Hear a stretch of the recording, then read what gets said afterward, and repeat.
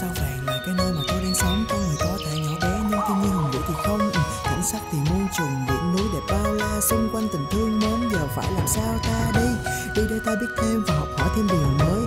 Về phong tục văn hóa ẩm thực của nhiều nơi. Việt Nam ta đi là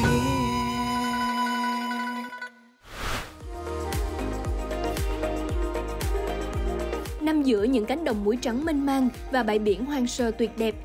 Cách thành phố không xa, nhưng làng dệt thổ cẩm mỹ nghiệp vẫn giữ nguyên vẹn nét làng quê. Nơi đây có những ruộng lúa, vườn cây, những mái nhà xưa cổ kính với kiểu kiến trúc mái tháp chàm rêu phong. Địa thế của làng nghề vô cùng tuyệt đẹp, lưng dựa vào núi Trà Bang, nằm bên dòng sông Lu hiền hòa quanh năm phù sa bồi đắp.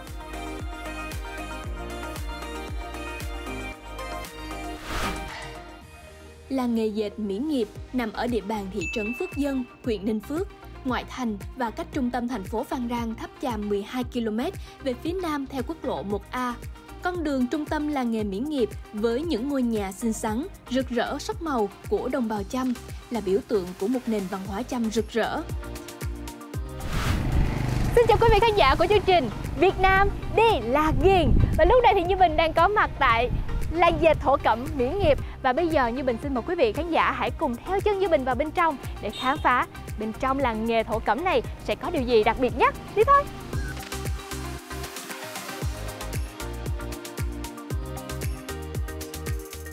với màu sắc, hoa văn, họa tiết khác nhau như con thoi, răng cưa, lòng đèn, ô vuông, kẻ sọc. Các sản phẩm dệt thổ cẩm của người Chăm thường gắn liền với đời sống hàng ngày của con người nơi đây như áo, váy, khăn đội đầu, xà rông, nón. Để tạo ra những hoa văn mới, mặt lưới, sóng nước, vân mây, bông dâu, thêm phần sinh động nhưng vẫn giữ được bản sắc truyền thống. Điều đặc sắc ở đây là người thợ dệt hoàn toàn bằng tay và các vật dụng thủ công, không sử dụng máy móc công nghiệp. Dạ, con chào cô Nam. Con là Như Bình đến từ chương trình Việt Nam đi là ghiền ạ. Cô có thể giới thiệu một chút xíu với khán giả đang theo dõi chương trình nha. Cô tên là cô Nam Cô Nam ạ. Đạt Thị Nam Cô Đà Thị Nam. Cô ơi cô, um, tại sao con thấy là cái bàn dệt này nó khác với cái dệt đằng sau này ạ? Cái khung này khung của cô đang dệt là khung dài Còn dệt đang ở ngoài kia là khung ngắn Khuôn ngắn. Khung ngắn là khung Dạ. dạ. xuống ở dưới Dạ. Còn đây là khung dài Dạ, vậy khuôn dài với khuôn ngắn á, thì nó khác nhau ở những cái điểm nào trừ là dài ngắn rồi ạ? Cái này khung dài á, thì nó Dạ. khác nhau nhiều lắm À, à, Có mất mình mất mình mất vô khung thôi mình cuốn vô cây á Dạ. Có thể mình mất được 50 mét 50 Hoặc là mét. 60 mét hoặc là cả 100 mét Cái đó là Ồ. kêu bằng khung dài khuôn dài. Nhưng mà cái này là khó hơn đúng không cô? Cái này là khó hơn Dạ.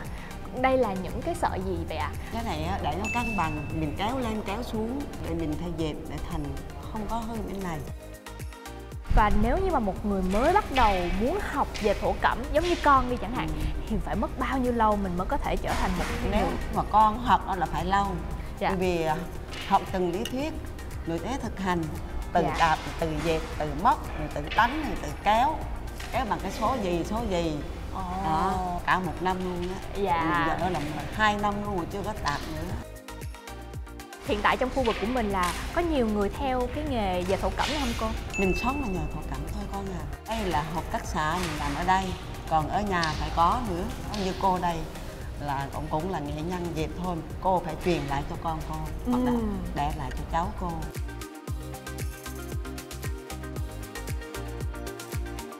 Để dệt được một tấm cỡ 50 mét là mất bao nhiêu lâu ạ?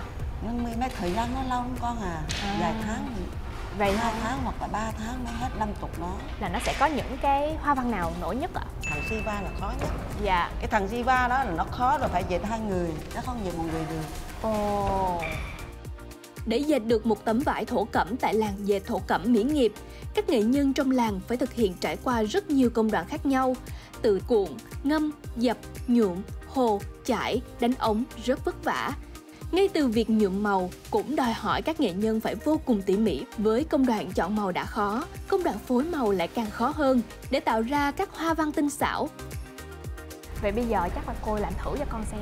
bây giờ con dệt con con coi ha Dạ. Kéo, à, Kéo, đánh vô. Đánh. Rồi sợ đánh cái này là cho nó chắc hả cô? Cái này đánh vô cho nó chắc cho nó sát vô cho À. nó dày. Bắt đầu con kéo này. Dạ. đó. một này kéo này xuống rồi kéo lên rồi xuống cái này phải hai đôi bỏ lên rồi hai cái này thả xuống có cái này lên này. Rồi đó đánh đánh vô. vô này đánh vô này rồi cái này đã là cái bằng sợi này Dạ. sợi sọ ngang. À sợi sọ dạ ngang này. Đó. Dạ cái đánh vô là cái này cái tua của nó phải bỏ vô tua cho nó chắc luôn. Đạp qua ngược lại. Dạ. đó, ngược lại vậy nè. Đánh vô tiếp. Ồ. Và bây giờ con chưa học gì hết nhưng mà con muốn thử thôi làm những cái thao tác đơn giản nhất của cái dệt này À, thì được không nếu con? mà bình muốn á, cô sẽ dạy cho bình làm thử. Dạ. Cảm ơn cô. Tay thì nắm cái này. Dạ. Cái lật này lên đó Ồ. thì xỏ ba xỏ qua. xỏ sợi ba. Dạ. mình đánh vô. Dạ. Đánh đánh vô đó đặt đặt chân bên này. Đó. Dạ. đặt một một cái thôi. Đặt cứng luôn đó thì thọ vô. Đánh. Ồ, Ừ. rồi rất đơn giản thôi. Dạ. Rồi cái tay mình kéo này. Dạ. Kéo cái này kéo xuống. lên. Kéo lên. Đó, xuống. Xuống. Rồi rồi kéo hai cái này lên. Cái hai kéo này lên Dạ. rồi kéo cái này xuống. Kéo xuống. Đó kéo xuống. Dạ rồi. Rồi. Đánh vô. Đánh vô.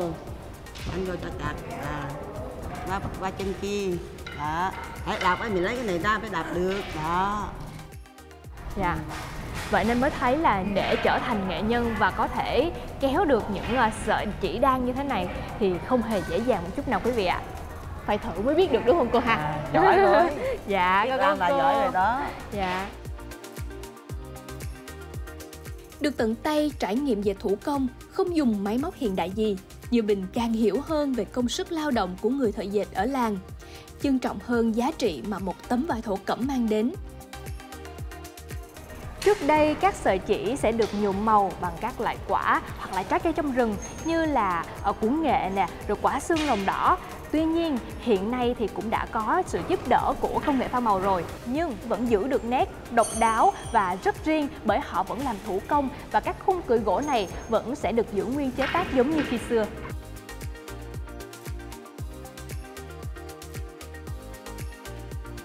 Đây chính là nơi trưng bày những thành phẩm sau khi các nghệ nhân hoàn thiện và có rất là nhiều những hoa văn họa tiết thể hiện được đời sống văn hóa tinh thần của người Chăm và trong đó có những họa tiết cũng rất là được ưa chuộng hiện nay như là họa tiết mai rùa, hoa văn mắt gà và bên này còn có hoa văn thần Shiva. À, đây chính là áo dài truyền thống của người Chăm đây không chỉ là một bộ trang phục đẹp mắt, mà còn chứa đựng cả một nền văn hóa truyền thống đồng bào Chăm vô cùng đặc sắc. Những tấm vải dệt tay này còn được xem là đại diện cho phái đẹp của người Champa. Để Như Bình kể chi tiết hơn đến quý vị thì Như Bình sẽ mặc thử chiếc áo dài này nhé. Mình đang mặc trên mình bộ trang phục truyền thống của người phụ nữ Chăm. Đây chính là chiếc khăn đội đầu, nhưng mà vì gió to quá nên là Như mình chưa có đội lên được. Còn đây là áo dài truyền thống, thắt lưng và chiếc váy. Và tất cả đều được dệt thủ công bởi bàn tay của người nghệ nhân nơi đây. Mặc trang phục truyền thống của người phụ nữ Cham rồi Vậy nên là bây giờ Như Bình sẽ thử trải nghiệm đi xe bò Một phương tiện di chuyển của người Cham nơi đây Để xem trải nghiệm sẽ như thế nào nhé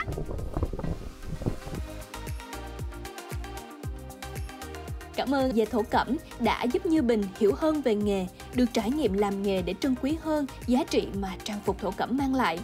Bây giờ thì chúng ta phải tạm biệt Mỹ nghiệp để tiếp tục hành trình Việt Nam đi là ghiền để xem điểm đến tiếp theo sẽ là nơi nào nhé. Cảm ơn chương trình Việt Nam đi là ghiền đã cho Như Bình có một trải nghiệm hết sức giá trị như thế này. Được mặc thử trang phục truyền thống của người phụ nữ Chăm Được trải nghiệm những nét sinh hoạt đời sống văn hóa tinh thần của người đồng bào Chăm nữa. Và đến đây thì thời lượng dành cho chương trình Việt Nam đi là ghiền tuần này xin phép khép lại. Và quý vị ơi, hãy nhớ thời lượng phát sóng của chương trình vào lúc 11 giờ 50 thứ sáu hàng tuần trên kênh HTV7 Và sẽ được phát lại vào thứ tư, thứ năm của tuần tiếp theo Còn quý vị ơi, hãy nhớ là like, share và comment thật là nhiều trên kênh youtube Việt Nam đi là ghiền HTV Giải trí và Facebook của Đài truyền hình Thành phố Hồ Chí Minh nữa nhé. Còn bây giờ thì xin chào tạm biệt và hẹn gặp lại.